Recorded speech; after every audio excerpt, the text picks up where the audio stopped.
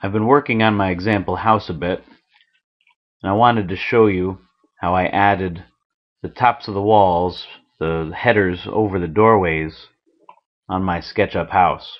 So I have a couple completed here that you can see, and I've got a couple more left to do that I'll show you.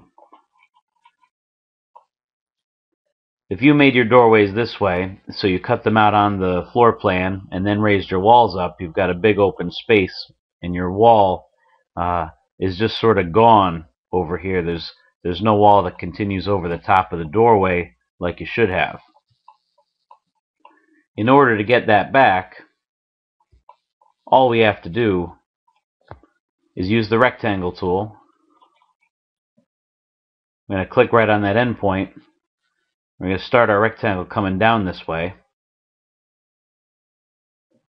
We're going to say we want it to go 1 foot or 12 inches. I'm going to type in 12, comma, 6.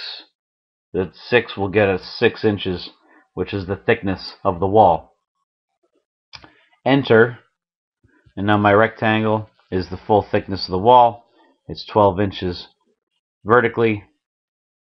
I'll grab the push-pull tool and pull that across to the other side we have this uh, line here, these lines uh, separating these surfaces. So all we have to do now is erase them out.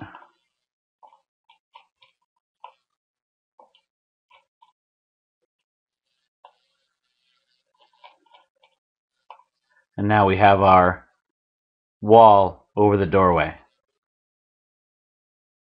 One more time. I'll do to this doorway here. I want to put the header above the door. I'm going to grab the rectangle tool, the endpoint on this wall, start the rectangle down, 12 comma 6 or 12 inches vertically, 6 inches wide. Enter. Push pull tool, pull it across to the other side.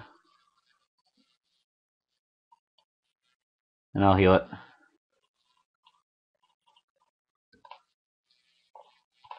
And there you have it.